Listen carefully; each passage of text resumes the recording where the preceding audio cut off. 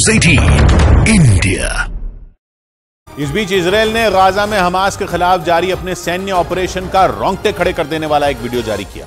उस वीडियो में इसराइल के सैनिक एक इमारत में छिपे हमास के लड़ाकों पर ताबड़तोड़ हमला करते दिखे। और आमने सामने की इस लड़ाई में दोनों तरफ़ से जमकर गोलीबारी हुई। हमास के लड़ाकों और इसराइल के सैनिकों का ये आमना सामना ज़मीन के कई फीट ऊपर उस इमारत की तीसरी मंजिल पर हुआ। इस दौरान दोनों तरफ़ से ऐसे हमले हुए, मानो कोई एक्शन फ़िल्म चल रही हो।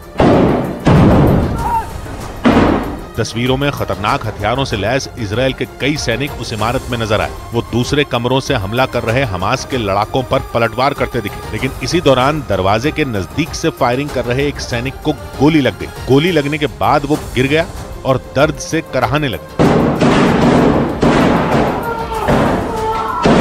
हालाँकि इस दौरान उस सैनिक को उसके एक साथी ने पीछे की ओर खींच लिया और गोलीबारी वाली जगह से दूर कर दिया। इसराइल ने दावा किया कि सूचना मिलते ही उसके सैनिकों ने उस इमारत को घेर लिया और इमारत के बाहर से हमला करने के बाद उन्होंने उसमें घुसकर हमास के लड़ाकों पर कह ढा दिया।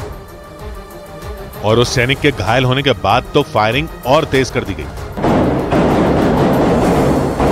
दोनों तरफ़ से काफ़ी देर तक धड़ाधड़ गोलियाँ चलती रही।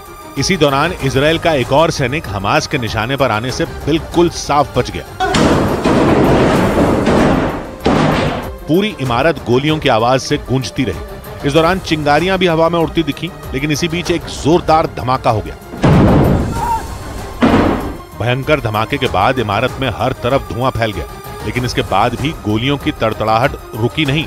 इसराइल ने दावा किया कि उसके सैनिकों ने इस हमले में इमारत में छिपे हमास के सभी लड़ाकों को मार गिराया। हालाँकि इस गोलीबारी में इसराइल के भी दो सैनिक घायल हो गए।